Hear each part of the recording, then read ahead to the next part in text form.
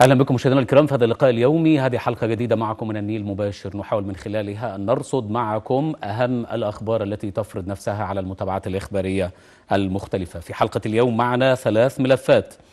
الملف الأول نتحدث فيه عن استعدادات وزارة الصحة لاستقبال المصريين العائدين من مدينة ووهان الصينية. وأيضا نتحدث عن المستشفى الذي تم تجهيزه في محافظة مطروح.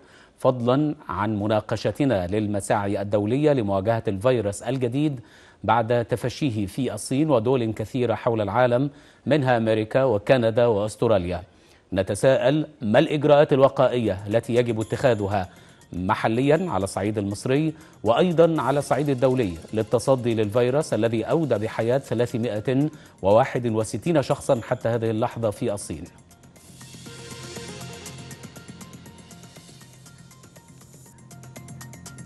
الملف الثاني نتحدث فيه حول تطورات الأوضاع في سوريا حيث حدث في الساعات الأخيرة تصعيد خطير بين القوات السورية وتركيا في محافظة إدلب مما أسفر عن مقتل ستة جنود سوريين وإصابة أكثر من عشرين آخرين في قصف تركي استهدف مواقع للقوات السورية وذلك في هجوم مضاد بعد مقتل أربعة عسكريين أتراك وإصابة تسعة آخرين في قصف سوري على مواقعهم في إدلب. يعد هذا التصعيد المواجهة الأخطر بين الطرفين سوريا وتركيا بعد التدخل العسكري التركي المباشر في سوريا منذ عام 2016 هنا لدينا سؤال أساسي. كي كيف تسير الأمور؟ ولأين تسير الأمور في سوريا في ظل هذا التصعيد التركي وتفاعل المجتمع الدولي مع ما يجري في سوريا؟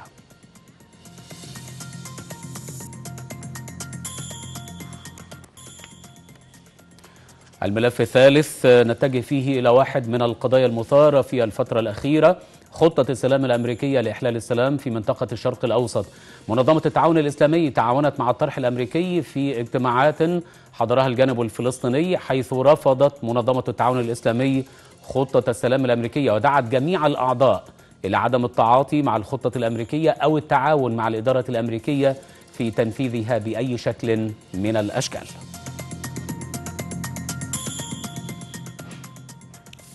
إذا هذه أهم ملامح حلقة اليوم نخرج إلى فاصل قصير. بعده نبدأ معكم النقاش مباشرة. ابقوا معنا.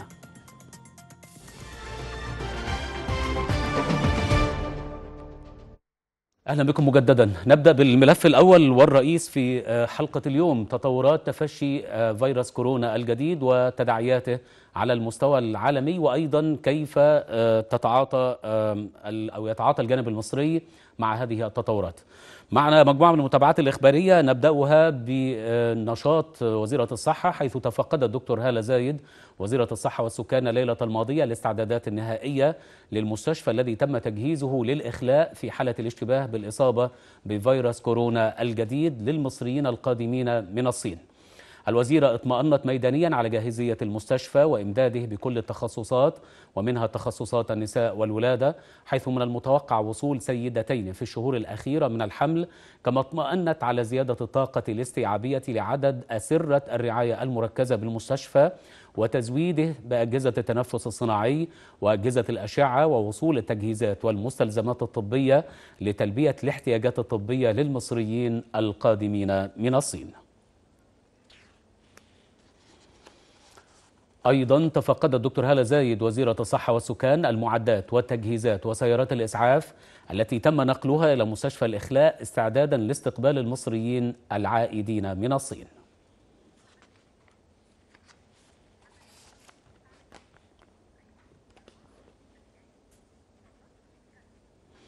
للمزيد من المتابعة ينضم إلينا عبر الهاتف مراسل قناة النيل الأخبار محمد حلمي. محمد إذا كان لك بداية تطلعنا حول تجهيزات في المستشفى وما بذل من قبل وزارة الصحة استعدادا لاستقبال المصريين العائدين من الصين؟ بالفعل أحمد تم تجهيزات المستشفى الإخلاء بمدينة مرسى مطروح وكذلك مدينة العلمين بمرسى مطروح وكذلك تم إعداد الفرق الطبية والتمريضية وكذلك سيارات الإسعاف كما تحدثت كما تم عمل محاكاة أثناء لاستقبال العائدين من الصين. وبالفعل وصلوا بسلامة الله إلى أرض الوطن بالمطار المصريين العائدين من مدينة ووهان التي حدث فيها الفيروس وانتشر في هذه المدينة الصينية. منذ دقائق وصلت سلامة الله الطائرة. وكان في استقبال هذه الطائرة الدكتوره هالة زايد وزيره الصحة والسكان وعدد من الأطباء المعنيين وفريق الحجر الصحي الذي استقبل العائدين على باب الطائرة. العائدين ما بينهم أطفال كذلك إلى جانب 14 من طاقم الطائرة وكان هناك ثمان أطباء كانوا مسافرين مع الطائرة أثناء ذهابها لعودة المصريين.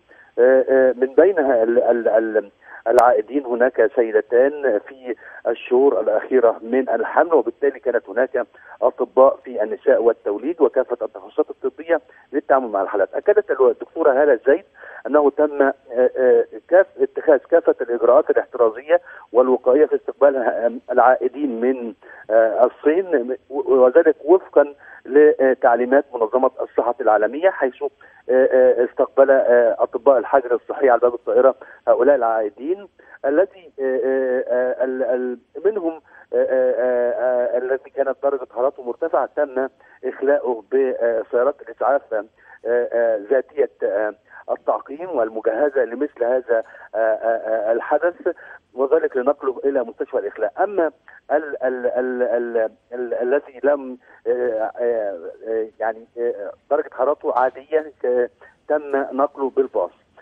هؤلاء سواء أطقم الطائرة أو الأطباء أو العائدين سوف يتم إخلاءهم بمستشفى الإخلاء وحجزهم لمدة 14 يوما وهو مدة حضانة الفيروس للتأكد من عدم وجود الفيروس حتى يعني هذا الإجراء لا يعني أنهم حاملين للفيروس ولكن إجراء احترازي ووقائي نعم. وفقا لتعليمات منظمة الصحة العالمية حتى يتم رصد أي حالة مشتبه بها حملها للمرض أو عدم حملها للمرض هذا الإجراء ما هو إلا إجراء احترازي لعدم دخول المرض إلى مصر كذلك تم تجهيز هذا المستشفى بدور منفصل لهؤلاء الذي تم إخلاؤهم من دولة الصين إلى مصر. كذلك المستشفى مجهز بمختبرات هذه المختبرات بعد أن سلمت منظمة الصحة العالمية بالأمس الكواشف القادرة على الكشف عن فيروس كورونا المستجد.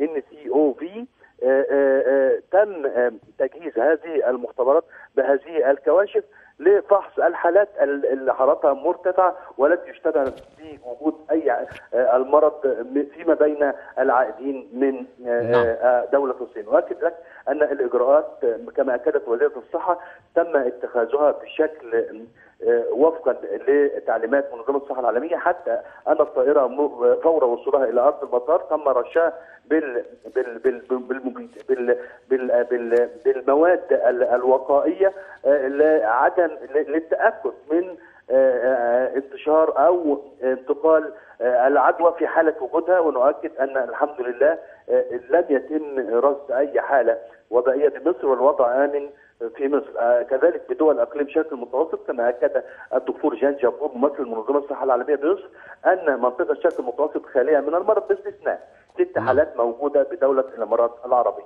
طيب فيما يتعلق بالمصريين العائدين محمد من الصين، هل توفرت لديك اي معلومات إنه تم الكشف عليهم أو فحصهم قبل مغادرتهم في الصين أو قبل تحركهم باتجاه القاهرة؟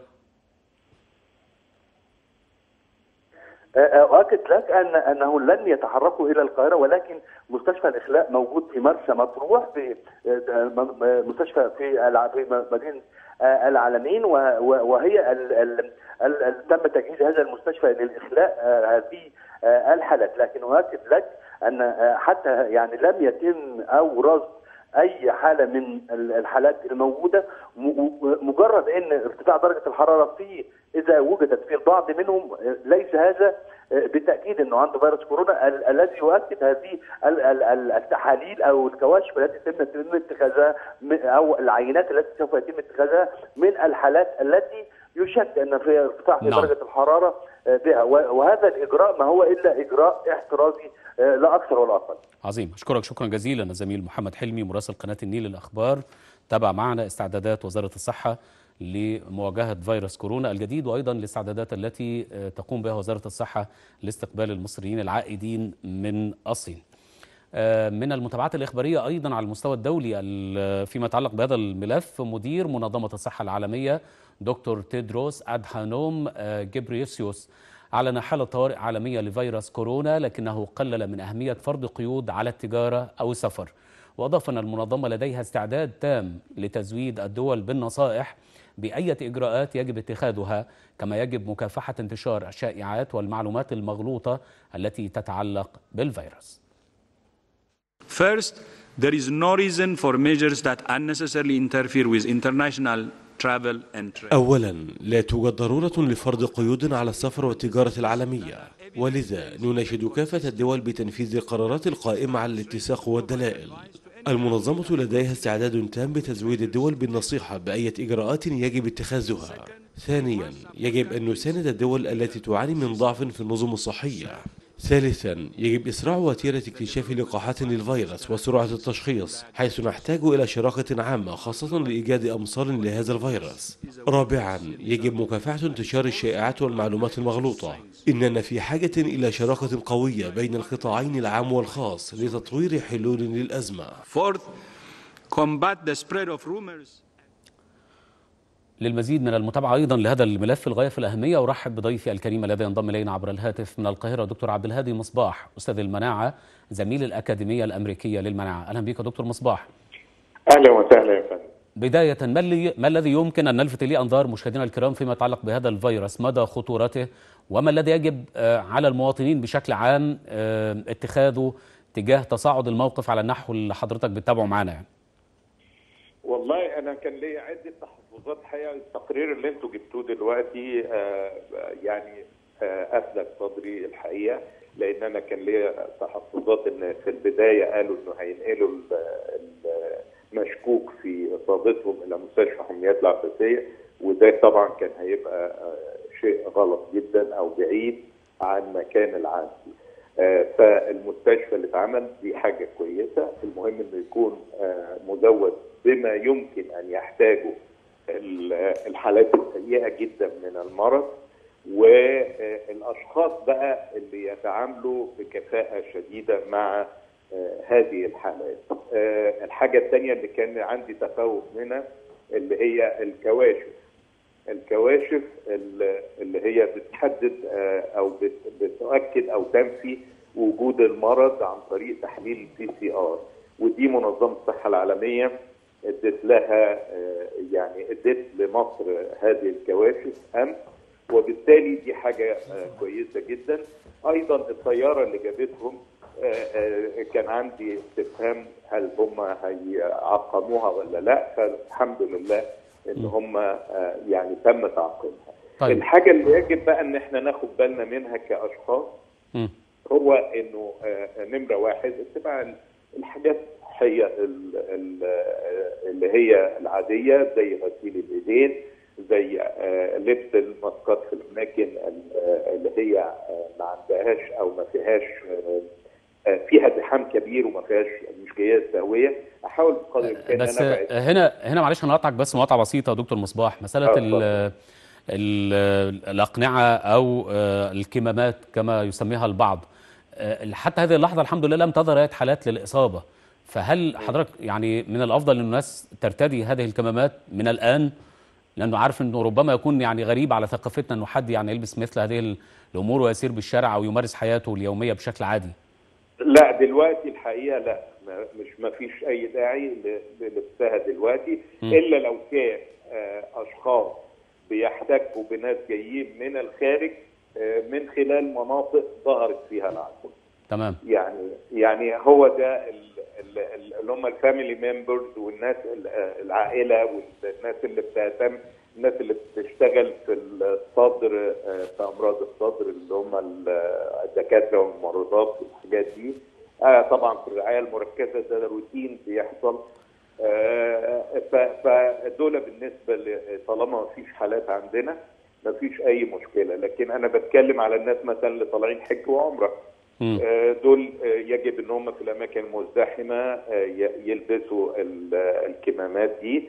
وهو طبعا في نوعين من الكمامات. إحنا يعني آه، بنستخدم الكمامات العادية لكن اللي بيشتغلوا في مجال الطبي أو رعاية المرضى يجب إن هم يلبسوا الكمامات الواقية اللي هي متخصصة للفيروسات اللي هي الان 95 و- وعلشان خاطر ما يحصلش أي نوع من. العدوى يجب إنهم ياخدوا التطعيم بتاع الإنفلونزا علشان ما يحصلش لبس في في تشخيص الأعراض. آه، تطعيم الإنفلونزا حضرتك بتنصح بيه كل الناس أنا بنصح بيه كل الناس آه، بس خصوصا خصوصا الأشخاص اللي هم آه، عندهم كبار السن أو عندهم أمراض مزمنة أو عندهم نقص في المناعة أو بياخدوا مثبطات للمناعة والأطفال أقل من خمس سنوات تمام. طيب يبقى دلوقتي حضرتك علشان نعيد ترتيب ال- ال- النصائح بتاعت حضرتك. غسل الأيدي بالماء والصابون بشكل آه، مستمر. آه، فكرة العطف بطريقه سليمة آه. آه، سواء في منديل والتخلص منه بطريقة آمنة أو إذا ما لحقش يبقى في الكوع وليس في اليدين. تمام آه، آه، إنه آه، ال- الأشخاص اللي هم عندهم في أماكن رايحين مسافرين عمره أو حج يلبسوا الأقنعة الواقية وياخدوا التطعيمات بتاعة الإنفلونزا والالتهاب السخاني. طيب. والأشخاص اللي بيتعاملوا مع الحقل الطبي دول لازم ياخدوا احتياطاتهم كاملة. طب دكتور مصباح هل يمكن القول إنه فيروس كورونا الجديد أصبح وباء عالمي أم انه الأمور لا تزال لا تستدعي كل هذا القلق؟ لا هو ما تستدعيش طبعا هذا القلق بس إحنا بنتكلم دلوقتي بروفيشنال يعني بنتكلم كأطباء آه، آه، آه، إيه النصايح اللي ممكن تحصل علشان ما يبقاش وباء عالمي؟ لكن أنا شايف إن إن هو ك ك آه، آه، يعني مرض جديد أو فيروس جديد آه، بي- بيبقى دايما في قلق. لأن الناس أعداء ما يجهلون فبيبقى في قلق من أسلوب انتشاره من هي- هيمشي إزاي فترة الحضانة ال- آه، لكن دلوقتي لو يقال يقال إنه الجانب الأمريكي يا دكتور عبد الهادي آه، يعني يقال في بعض المتابعات الإخبارية إنه طلب من الصين بعض العينات آه، من المصابين للبحث عن مصل أو آم، يعني آه، اكتشاف مصل أو إيجاد مصل أو لقاح آه، لهذا الفيروس. إذا كان عند حضرتك معلومات في سياق أعم وأشمل فكرة وجود مصل أو لقاح لمواجهة الفيروس حتى هذه اللحظة هل نجحت بعض المؤسسات أو الصين؟ ربما إذا كان عند حضرتك بعض المعلومات في هذا مصل الموضوع. أو لقاح لا. لكن علاج أيوه. آه، الصين أعلنت عن علاج آه، آه، من خلال دواء بيتاخد لعلاج فيروس الإيدز من مجموعة مثبطات انزيم ال protease اللي هو مهم جدا لتكاثر الفيروس. نعم. وقالوا إن في واحد شفي تماما. فإذا ودي كانت بتجرب على فكرة من 2006 على فيروس سارس بس ال... آه، فيروس سارس دلوقتي له تطعيم و... و... وأيضا آه، بي... بيفيد العلاج بال protease inhibitors ففي أمل طبعا إنه يستخدم بشكل أكبر. علشان خاطر. يتم ال- الشفاء لكن الأهم نعم في الحالات اللي زي كده هو إزاي يعني يعني أنقذ العيان من خلال بقى الوسائل الكثيرة بتاعت الالتهابات الحادة للجهاز التنفسي علشان ما يحصلش مضاعفات بعد كده في الكلى وفشل الكلى والحاجات زي كده فده بيحصل في الرعاية المركزة وبيحصل محتاج لناس متدربين كويس علشان خاطر يعدوا المرحلة دي لغاية لما يتاخد الأدوية اللي المفروض إنها بتجرب دلوقتي. طيب أنا بشكرك شكرا جزيلا دكتور عبد الهادي مصباح أستاذ المناعة. آه، يعني كنت ضيفا كريما معنا في هذه المعلومات المهمة. وكما تبدو الصورة حتى هذه اللحظة مشاهدينا الكرام الأمور مطمئنة جدا آه، على آه، المستوى المصري أو على صعيد الاستعدادات المصرية لمواجهة هذا الفيروس. لا توجد حالات إصابة حتى هذه اللحظة. كل ما يشار إليه في سياق الوقاية آه، لا قدر الله من ظهور هذا الفيروس. نخرج إلى فاصل قصير وبعده نبدأ معكم الحديث في الملف الثاني في هذه الحلقة. أرجو أن تبقوا معنا.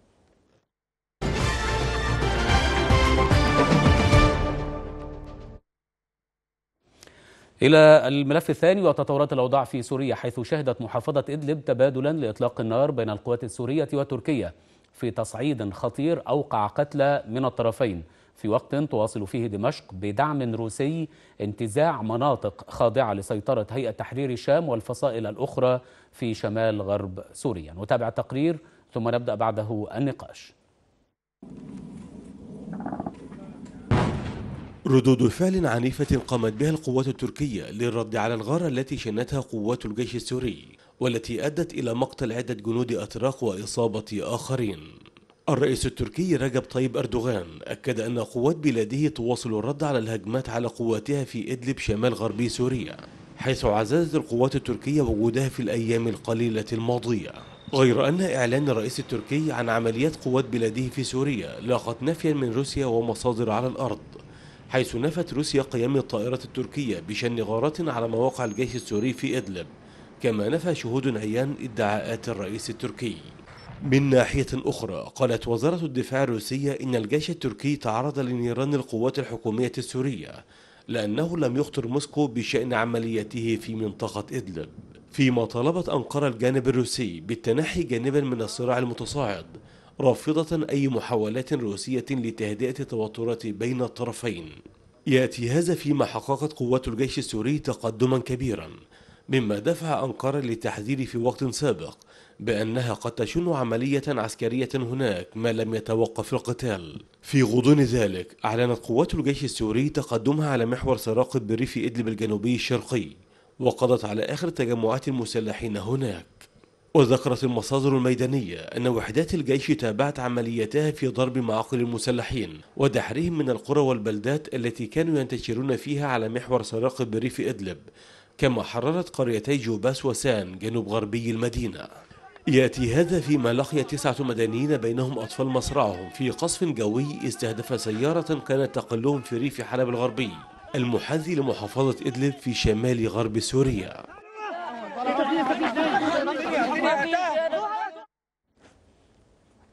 للمزيد من المتابعة أدعوكم لترحيب بضيفي الكريم الذي ينضم إلينا على الهواء مباشرة عبر الهاتف من دمشق المفكر السوري دكتور جورج جبور. أهلا بك دكتور جورج. جبور. أهلا بك. جبور. أهلا بك دكتور جورج. أهلا بكم.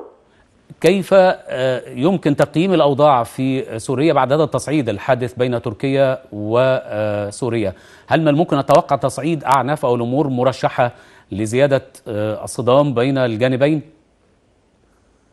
هناك تقدم سوري ملموس وهذا التقدم مستمر وسوف يستمر. سوريا مصممة على تحرير تلك المنطقة من أراضيها وهذا الأمر ليس موضع نقاش. تركيا من جهتها في البيانات الرسمية تقول أنها تحترم السيادة السورية وهي في الوقت نفسه تعتدي على السيادة السورية.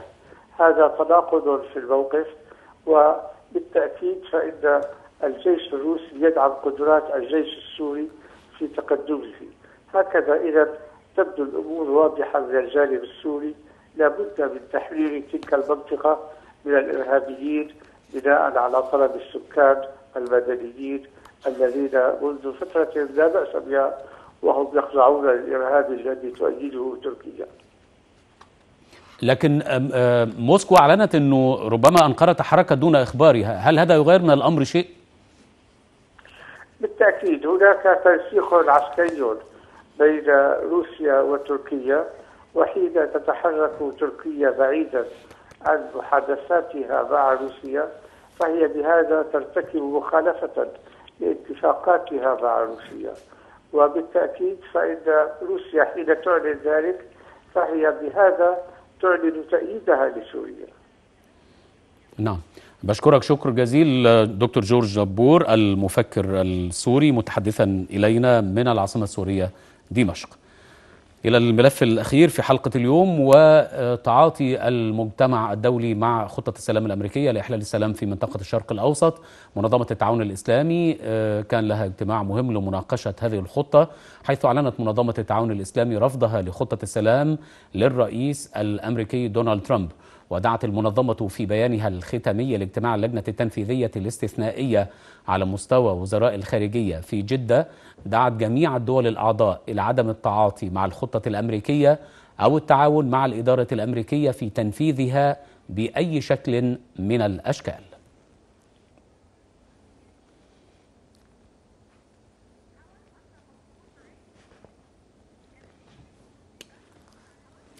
للمزيد من المتابعة أرحب بضيفي الكريم الكاتب الصحفي الأستاذ أشرف أبو الهول. أهلا بك أستاذ أشرف. أهلا وسهلا أهلا بكم. آه، كيف ترى ما خرجت إليه أو ما ذهبت إليه منظمة التعاون الإسلامي في اجتماعها الأخير؟ يعني أعتقد إنه منظمة المؤتمر الإسلامي أو منظمة التعاون الإسلامي كما تسمى الآن يعني أدت الدور الذي كان مطلوب منها في هذه المرحلة وهي إعلان تضامنها مع الشعب الفلسطيني.